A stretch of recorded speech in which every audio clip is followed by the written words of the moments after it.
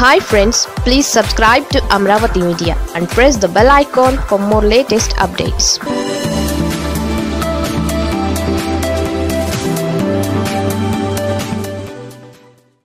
తిరుపతిలో ఎవరి సత్తా ఎంత? తాజా సర్వే చెబుతోంది ఇదే. తిరుపతి లోక్సభ ఉప ఎన్నికలో వార్ వన్ సైడేనా? అంటే అవుననే సమాధానం వస్తోంది. ఈ నెల పదిహేడవ తేదీన జరగబోయే ఉప ఎన్నిక polling Andhra fact check prepoll survey చేసింది. దాని ప్రకారం వైసీపీకి డెబ్బై శాతం ఓట్లు వస్తాయని తేలిందట. టీడీపీకి పంతొమ్మిది పాయింట్ ఆరు ఎనిమిది శాతం మాత్రమే ఓట్లు పోలవుతాయని చెప్పింది. ఇక బీజేపీ ప్లస్ జనసేన మిత్రపక్షాల అభ్యర్థికి ఏడు పాయింట్ ఒకటి మూడు శాతం ఓట్లు పోలవుతాయట. కాంగ్రెస్ అదర్స్ గురించి చెప్పుకోవడానికి ఏమీ పెద్దగా లేదని తమ సర్వేలో తేలిందని ఫ్యాక్ట్ చెక్ చెప్పింది. లోక్సభ నియోజకవర్గం పరిధిలో మొత్తం పంతొమ్మిది వందల తొంభై మూడు పోలింగ్ కేంద్రాలు ఉన్నాయి. వీటిలో ఏఎఫ్సి సర్వే చేసింది ఏడు వందల పోలింగ్ కేంద్రాల్లో.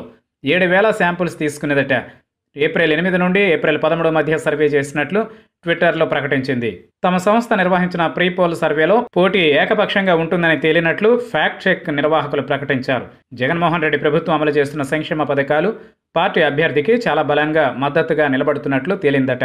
సర్వేలో ఏ నియోజకవర్గంలో ఏ పార్టీకి ఎంత శాతం ఓట్లు వస్తాయనే అంచనాను కూడా ప్రకటించారు.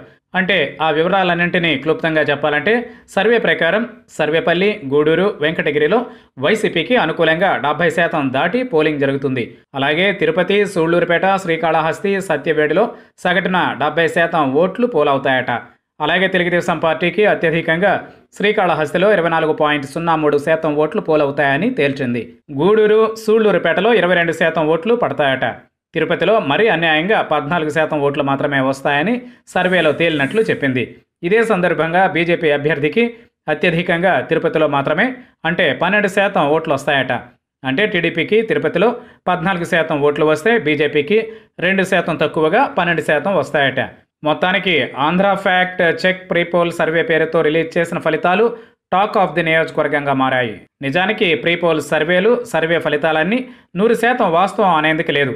ఎందుకంటే కొన్నిసార్లు సర్వే ఫలితాలు తప్పుపోయిన సందర్భాలు కూడా ఉన్నాయి.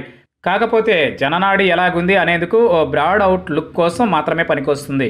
మరి ఏఎఫ్సి ప్రీపోల్స్ సర్వే సంగతి ఏంటో తేలాలంటే మే రెండవ తేదీ వరకు వెయిట్ చేయాల్సిందే.